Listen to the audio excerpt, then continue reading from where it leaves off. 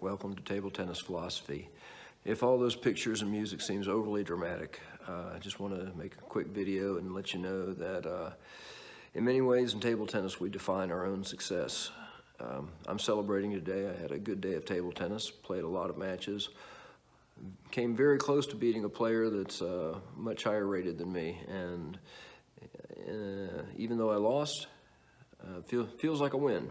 And uh, anytime I feel like I'm improving, it definitely feels like that.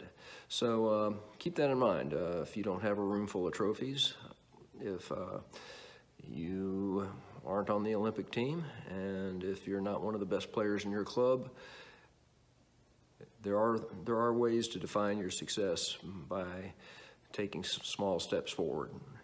And um, just thought I'd throw that in there. Again, sorry for the overly dramatic uh, video, but uh, sometimes feels like we need to uh, put a little more drama in our table tennis. All right, thanks a lot. Bye.